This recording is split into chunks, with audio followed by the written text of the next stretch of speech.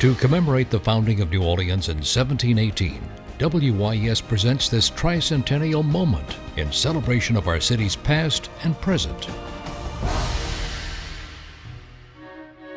From the 1920s through the 1960s, Audubon Park visitors could enjoy a ride through the park's lagoons on a boat shaped like a swan. I actually got my first job uh, at 10 years old riding my bike and we had the wonderful old swan boat going up and down the lagoons. The man running would see me hanging around and one day he asked me would I like a job. And I said I love it and the job was as he would pull up the boat, I would tie it up.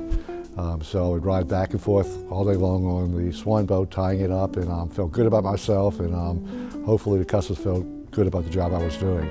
For a mere 10 cents, it was possible to take a one mile ride on motorized boats that could hold up to 20 passengers. The vessels were docked behind the Newman Bandstand.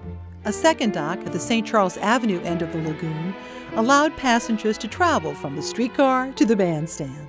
Shown here riding the swan boat is New Orleanian Bruce R. Hofer Jr. as a two year old with his father, aunt, and sister. The swan boats may be a distant memory, but the tranquil nature of Audubon Park's lagoons continues to be a place of solitude and quiet serenity for all.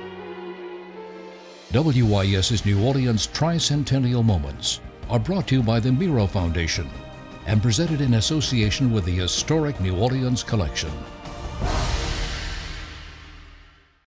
Additional support provided by the Gail and Tom Benson Charitable Foundation.